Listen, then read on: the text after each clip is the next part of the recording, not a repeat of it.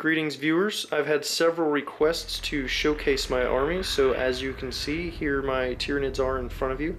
A lot of the stuff remains unfinished. As I've mentioned previously, I get distracted very easily, and also I've had several issues where certain models may have become uh, outdated due to an updated edition or codex, and I just kind of lost track of them and moved on to something that might work a little bit better. So I'll give you a little bit more detailed view of all the, uh, the units you see here in front of you. We'll start from uh, over here. We've got uh, on the ends, I have six Hive Guard in two groups of two. Obviously, only two of them are completed painting, completed stages of painting. I've got six warriors here. The one here on the far right with the Lash Whip and Bone Sword I use as my Tyranid Prime. I've got the uh, two Tervigons that you should be very well familiar with from my videos. We've got a magnetized Hive Tyrant slash Swarm Lord with his four bone swords. Almost finished, he still just needs highlighting done. And then we've got the three uh, Tyrant Guard here. Two of them are magnetized to accept Lash Whips. I have to uh, fix that third one there that's painted. Got to figure out how to do it without destroying the paint job.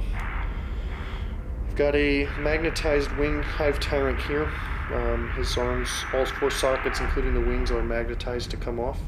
Right now I have some modified uh, twin link devourers on there. I have two Tyrannofexes here.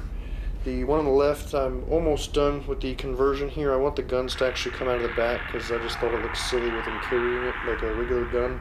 So this one on the right here is going to look just about identical to it when I'm finished, whenever that is. Got my four biovores here. This one in the far bottom right here you can see is uh, the one where I cast the arm for you in the previous video. He blends right in with the others, almost not even noticeable. Got all my spore mines here. Only one of them was painted so far as my test subject. I've got a Trygon here. Two Carnifexes that originally were my Tervigon conversions until the uh, actual models came out, so there was no need to go ahead and finish painting them. I don't really use Carnifexes too often, so we'll see if those actually ever get done or not.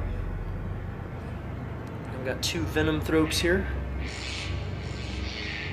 Got three Zoanthropes. The one in the center has a little bit of extra spiky bits on his head there. Um, he gets can be used as a Doom of Malan'tai if I so choose to bring that unit. You can see I've got all my gargoyles here.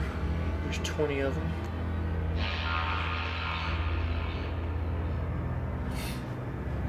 Got all my Hormagaunts almost all finished. I've got a couple that need highlighting and then several that are only primed. There are all my Termagants there. Several stages. I've got the 12 of them there with uh, Devourers. All the rest of them are basically flesh warriors.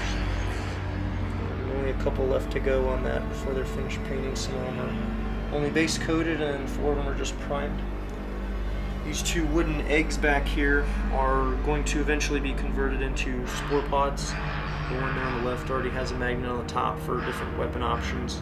Then it's on a base. I just have to catch the other one up to that point before I set up.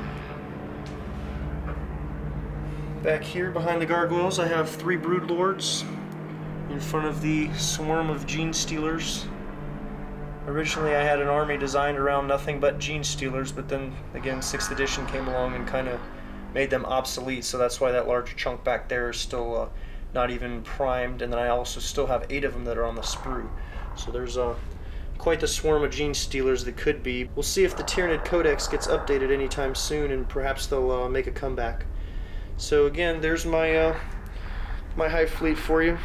Guys, hope you enjoyed this video. Please stay tuned for future videos. Thank you.